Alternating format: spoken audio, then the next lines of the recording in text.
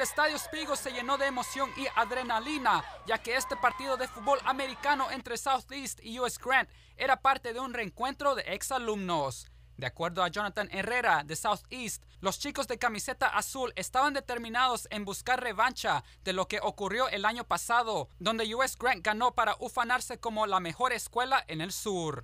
Porque si uh, les enseñamos que no, no jugamos muy bien, uh, estamos slacking off, los van a ganar a nosotros.